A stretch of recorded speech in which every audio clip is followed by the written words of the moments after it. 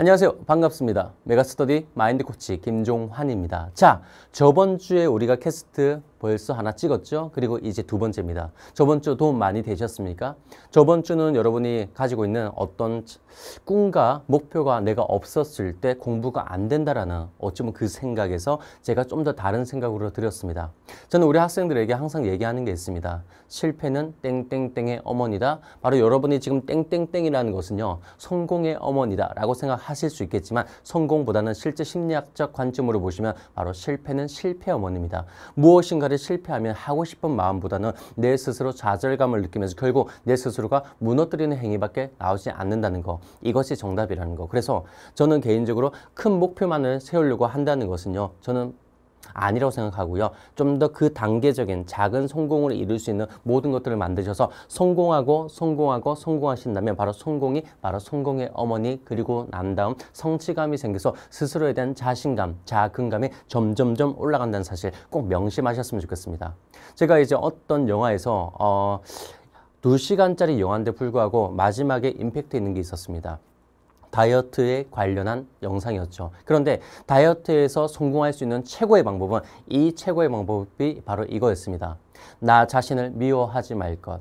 다이어트 하다가 실패하면 왜 나는 끈기가 없을까? 인내심이 없을까? 나는 무엇인가 목표를 하면 왜 안 될까? 라고 생각하면 스스로를 점점 싫어하기 시작한답니다. 그렇죠. 저도 많이 경험했습니다. 그래서 여러분도 공부라는 것도 마찬가지겠죠? 스스로를 절대 싫어하지 마십시오. 남들에게 사랑받으려고만 하지 마시고요. 내가 나를 사랑하는 거. 정작 내가 나를 사랑해야 되는데 잘 생각해 보면 내가 나를 더욱더 괴롭힌다는 사실 꼭 명심하시고 자 오늘 이야기는 어, 앞으로 제가 매주마다 이 캐스트 내용에는요 우리 학생들 고민에 관련해서 제가 하나씩 하나씩 짚어드리려고 생각을 해봤습니다 그래서 어, 1월달에 저희가 이제 고민 상담 이벤트를 했었는데 좀 많은 분들이 참여해 주셨는데 정말 죄송하게도 제가 어, 다 할 수는 없더라고요. 그래서 제가 그 몇 가지만 포인트를 집어서 제가 하나하나씩 우리 학생들 추첨을 해서 제가 이 상담을 드릴 것 같습니다. 자, 한번 잘 들어보시고 그리고 매주마다 보시면요. 상담 내용이 공통된 게 되게 많거든요. 그래서 그 이야기 를 통해서 여러분을 찾아뵙도록 하겠습니다. 자, 오늘 어, 제가 첫 번째 여기 이 친구 있는데 어, 이름은 여기 좀 있기는 한데 제가 제 이름으로 제 입으로는 부르지 않겠습니다. 아시겠죠? 자, 보시면 내용 자체가 제일 친한 친구랑 얼마 전에 싸웠대요. 그리고 아직도 연락을 하지 못하고 있는데 음, 먼저 연락을 하고 싶다. 어떻게 하면 좋을까요? 라고 이야기를 합니다. 자, 제가 어, 우리 학생에 대해서 이야기 잘 보시면요. 먼저 이 고백이라는 관점에 대해서 말씀드리겠습니다.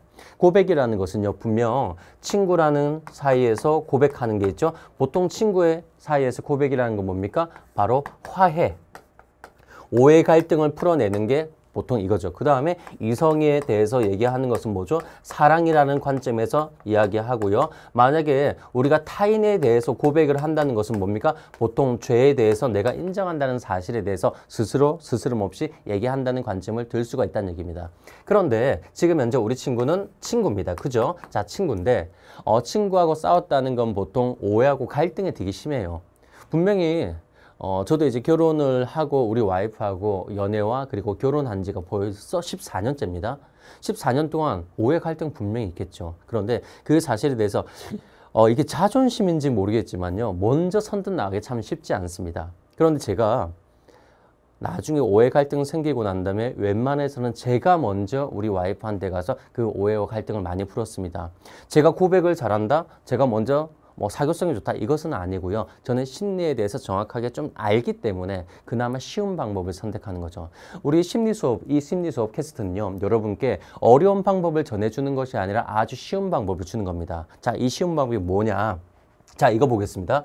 우리가 어, 이런 게 있죠. 용기라는 게 있습니다. 고백을 하려면 용기가 있어야 되죠. 사랑 고백을 하려면 용기가 있어야 되죠. 그 다음에 죄에 대해서 내가 스스로가 어, 밝히려면 용기가 있어야 된다고 얘기합니다. 어, 그런데 실제 용기라는 것은요, 제가 이제까지 살면서 제 경험상에는 용기란 것을 본 적이 없고요. 제 스스로가, 아, 내가 용기가 갑자기 생겼다! 하는 건 없었습니다. 그러다 보니 제가 그 용기가 없다라는 것 때문에 항상 용기가 없어서 무엇을 못했고 용기가 없어서 내가 하지 못했다라고 했던 것이 나중에 알고 보니 바로 나의 자기 합리화 밖에 되지 않더라고요. 그래서 결국 제가 정말 어, 방법을 많이 찾았던 그 가운데 바로 그 답은요. 용기가 없어서 우리가 하지 못했던 것이 아니라 바로 상상이라는 놈 때문에 우리가 못했다는 사실을 알게 되었습니다. 여러분이 실제 누군가에게 고백을 한다 칩시다. 이성관계 고백을 한다 치시면 내가 쉽게 고백하지 못하는 이유가 뭔지 아십니까? 바로 상상이에요. 내가 고백을 했을 때 혹시 사이가 껄끄러지지 않을까? 내가 고백을 했을 때 거절 당하지 않을까? 그런 생각을 통해서 결국 내 스스로를요 나가지 못하게 하는 겁니다. 이해하셨죠? 그러면 이게 원인이기 때문에 원인을 어떻게 바꾸면 됩니까? 긍정적인 상상, 이 긍정적인 상상으로 여러분이 대체를 하시면 됩니다. 긍정적인 상상은요, 그냥 이렇게 생각하시면 돼요. 여러분이 올림픽 메달리스트, 그 다음에 뭐 프로 선수들 보시면요, 항상 경기에 나가기 전에 한다는 게 뭐죠? 바로 이미지 트레이닝이라는 겁니다. 아무래도 큰 무대에서 정말 그 무대가 얼마나 압박되겠습니까? 압박되는 곳, 내 한, 예를 들어서 화살이라면, 어, 화살 그 한쪽에 따라서 결국 내 인생이 결정되는데 어떻게 됩니까? 그래서 부정적인 상상이 오는 것이 인간의 기본적인 원리인데 이때 어떻게 한다? 이미지 트레이닝. 바로 내가 쏜 그 화살이 정중앙에 꽂힌다라는 생각을 계속 계속 하다 보면 그때서야 내 스스로가 자신감이 생기면서 나도 된다라는 생각을 통해서 결국 할 수 있다는 겁니다. 그래서 우리 지금 친구가 어떻게 하시냐면요. 그 친구의 모습을 그리시고요. 내가 그 친구에게 화해 신청을 했습니다. 화해 신청을 했을 때 갑자기 웃으면서 내가 먼저 화해를 신청했어야 되는데 네가 먼저 했구나. 너무 고맙다. 아니면은 어 정말 어 미안해. 내가 정말 미안해. 음, 막 그러면서 서로 울면서 어 미안해 면 너무 좋지 않아요. 그죠? 그런 상상을 하다 보면 얼른 빨리 내가 화해 신청을 하고 싶은 겁니다. 근데 여기서 우리 친구가 어, 어떤 얘기를 했었냐면요.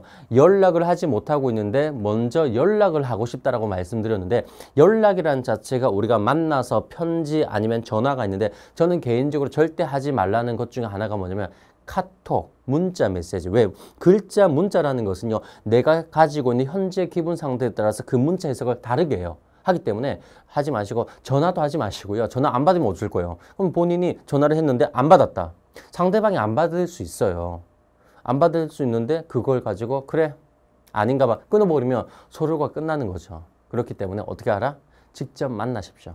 직접 만나서 내가 정말 먼저 너한테 사과할게 라고 먼저 사과를 하십시오. 따지지 마시고요. 그래서 사과하시고요. 그냥 그때는 치고 원래 그 사건에 만약에 있으면요. 순간적으로는 사과하시고 그 다음에 좀 더 서로가 이성적인 생각을 좀 가질 때 그때서 장난스럽게 뭐 만나면서 차 한잔하면서 그때 내가 사실 이랬다라고 이야기하신다면 정말 편안하게 그 사이가 다시 원래대로 친한 사이가 되지 않을까 싶습니다. 아시겠죠? 그래서 어, 절대적으로 문제 없다는 거 없는 용기 찾지 마시고요. 내가 가지고 있는 거절당하는 상상을 좀 더 좋은 상상으로 바꾸시면 아마 그것이 최선의 답인 거.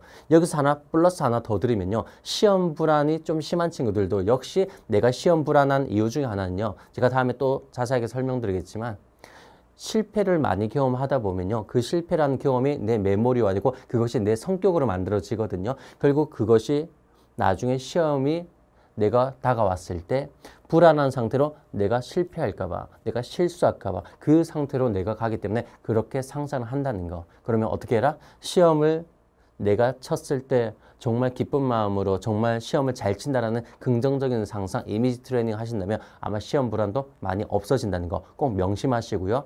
자, 매주마다 이런 식으로 말씀드릴 테니 잘 지켜봐 주셨으면 감사하겠습니다. 매주 월요일마다 캐스트에서 뵙겠습니다. 감사합니다.